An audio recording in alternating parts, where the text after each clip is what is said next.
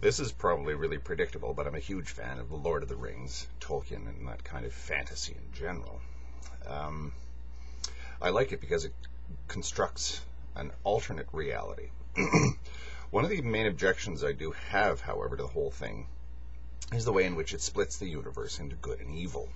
Now, of course, you could say, oh, well, of course, that's just um, being deliberately childish and making white hats and black hats that we actually need to have a good old fashioned fairy tale. Um, well, I think that The Lord of the Rings is a lot deeper than that, and it tends to deal with what I suppose one might call uh, the Manichaean or the Catholic sort of view of the universe, in which the universe is actually made up of that which is good and that which is evil. You go into Lothlorien, and the elves are good. You go into Mordor, and the orcs and Sauron, and that sort of thing. These are bad. These are evil things, evil beings. Um, people have criticized Lord of the Rings as a racist thing, a racist tale for that very reason. There are things, beings there that are fundamentally bad that's arguable, but that's you know it's one of the things that comes up. And I always thought that the end of the Lord of the Rings, where it looks as though Sauron is destroyed, the world is saved, etc., is kind of empty and hollow. The, how does the, how's the world any better? All you've done is you've eliminated Sauron, and it's just the same old mundane world.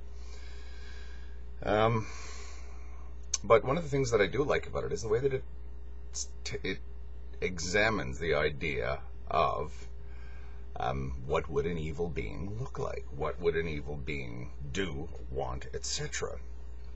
Or even not evil. What would a being, it's an interesting use of language, a being that is in a state of non being actually seem like? Or what is the state of positive non being? In other words, you have consciousness, but you have no conception of being itself. You are perceiving things. You are existing as a conscious entity, but there is no sense that you are even remotely capable of being alone with yourself. The elves are portrayed as people who, or creatures or whatever, who want to be more than almost anything else. The world around them is nothing more than a distraction from their blessed sort of utopian state of just existing all that they want is to just be, and they're getting fed up with Middle Earth because Middle Earth is becoming a complicated place to live in, and they don't want the distractions of having to deal with things like Sauron and orcs and trolls and stuff like that. So they're leaving. Uh, nah, I've had enough of this. And as a consequence, the, el- the elves sort of look a little bit sterile to us. Um, Sauron is sort of the example, the counterexample of non-being, and he's actually described that way in um, the way the scene in which Frodo looks into the mirror of Galadriel, and he sees Sauron for what he is. I'm just going to read a little quote here off my phone. But suddenly the mirror went altogether dark. Frodo's looking into this mirror, sort of a crystal ball, as dark as if a hole had been opened in the world of sight. In the abyss there appeared a single eye that slowly grew until it filled nearly all the mirror. So terrible was it that Frodo stood rooted, unable to cry out or to withdraw his gaze. The eye was rimmed with fire, but was itself glazed, yellow as a cat's watchful and intent, and the black slit of its pupil opened on a pit, a window into nothing. a window into nothing. It and it, you get the sense that it's a positive nothingness. It's not just an absence of something. It's an actual positive, tangible nothing. It's consciousness utterly devoid of being. There's nothing more than will and will to act upon other things. Um, and one would assume that it's not just, I guess you'd say, Nietzsche's balanced will. In other words, um, we have a will to make other things suffer. We have a will to control other things. We have a will to acquire things to ourselves, riches, uh, possessions, power, etc. But we also have another will where we are um, we have a will to spread goodness or tenderness or joy or love in the world. Um, that's at least what I get out of Nietzsche. It's uh, we we have many different wills. We have wills to life, we have wills to joy, etc., but we also have wills to power and all that kind of thing. Sauron doesn't have any of the good will. He's got nothing, utterly nothing, other than, I guess, the will to power. That's it. That's all that he has. The will to control and to force other things to suffer. Now they're trying to Tolkien's trying to say that this is an evil state, but or maybe not an e- evil state, but a very disruptive state that needs other beings to fight. But one would assume that Sauron is a very powerful being who has lost some sort of sense of what he actually is. The mouth of Sauron forgot his own name, one of the Black Numenoreans. He couldn't even remember what his name was. He was simply, he only existed to serve Sauron. In other words, he was an utter and total slave to Sauron's will. So he was another victim of the loss of being. Sauron himself had no being whatsoever. He was a positive nothing, um, who only existed in as much as he could act on other things. His own being itself was not sufficient. In fact, one gets the impression that these types of caricatures in literature would be horrified by the thought of gazing backwards into themselves.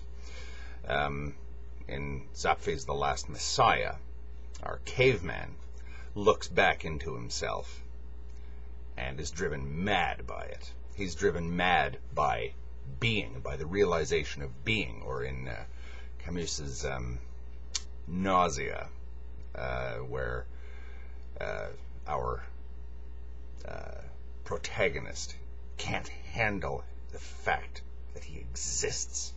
Or he can't even handle the fact of existence. He can't handle the fact of being. Or he can handle it, but he doesn't want to. It's disgusting to him. He doesn't want to have anything to do with it. Um, so there's this sense that there's a certain species of non being, or anti being, or counter being that is utterly undesirable. And its only self antidote, or only self medication, I guess you would call it, is to distract itself by visiting its will upon others.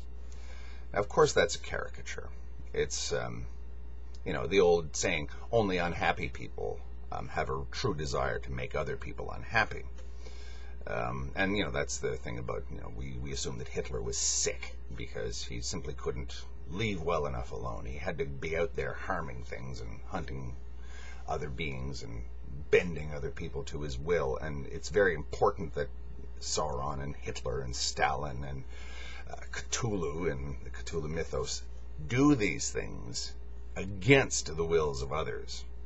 It's not enough just to get other things to or other beings to do as you want them to do. You must make them do it against their will. Um, and that is the only sort of distraction or um, the only sort of antidote to their own horror at their own being. Sauron has gone gone so far into a positive state of non-being that he can only gain pleasure or only gain release or only gain purpose or meaning by subverting the wills of other things against their will. Um, he can only be distracted from his own utter non being by um, visiting himself negatively on other things. Um, I wonder what you would call that state, that state that you simply cannot handle the default position. That if you take away all of your distractions, it drives you mad like it does, or kills you like it does in Zapffe's cavemen in The Last Messiah. Or it turns you into something utterly cruel and evil like Hitler or Sauron. Would you call that? I, I don't know, ontophobia? How's that for a crazy word for you? Or misontology, the hatred of existence? I don't know. Um, but it does seem to be about as undesirable a state of being as there's as as one is possible to conceive of. Being itself is the problem. Uh, there's a streak of this in my pet sort of Eastern philosophy, Jainism, where it's almost as though one gets the impression that the true horror of existence is existence itself in a universe that will always exist. The Jain Wheel of Existence, the Jain version of samsara, uh, seems to hold that existence, phenomenality, uh, the wheel of existence will continue, has never started turning, the wheel of existence, and will never stop. It's, it just is. And the only thing to do about that is to get off, to get off that wheel. You can't destroy it. Some people might attempt to destroy the universe or the multiverse or existence itself, but good luck. Um, and again, the horror of existence is existence itself, and the best thing to do is to cease to exist. Now, I guess that would be meso-ontology. I don't know, or meso philontology.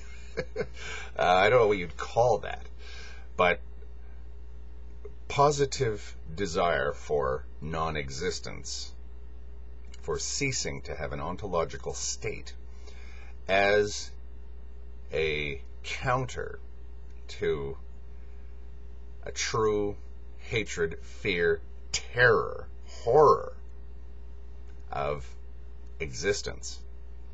You see, when uh, in the Call of Cthulhu by um, H.P. Lovecraft, when the sailors go off to that rock and they find Cthulhu in his cave or in his tomb or whatever you want to call it, um, they describe the darkness in which Cthulhu lives or doesn't live. He's dead, but he's existing, I guess, as a positive darkness. Um, a darkness that has an existence beyond the mere absence of light. And that is a really good metaphor, if you ask me. And it, it's very similar to Sauron. Um, the positive, uh, virulent, active non existence or non being.